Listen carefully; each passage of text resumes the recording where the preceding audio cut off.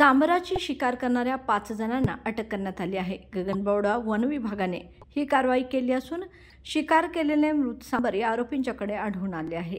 हे मृत सांबर मादी जातीचे असून ती गर्भवती असल्याचे शवविच्छेदनात आढळून आले आहे. शिकारीच्या या घटनेत पाच आरोपींना अटक केली असल्याने गगनबावडा तालुक्यात खळबळ उडाली आहे. तालुक्यातील वन विभागाची ही सर्वात मोठी कारवाई मानली जात आहे.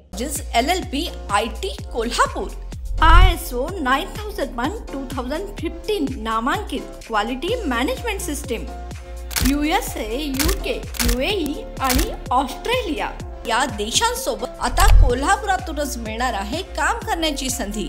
कोटियन आय टी कंपनी तुमच्यासाठी घेऊन येत आहे ही अनोखी संधी. डेटा एंट्री ऑपरेटर व इनबाउंड व्हॉइस प्रोसेस या दोन पदांसाठी वॅकन्सी उपलब्ध.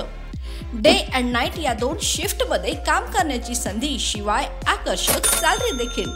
प्रथम येणाऱ्यास प्राधान्य तसेच स्पॉट ऑफर लेटर तर आजच भेट द्या Kotian info technology L L P I T कंपनीला आणि तुमचा जॉब आजच निश्चित करा.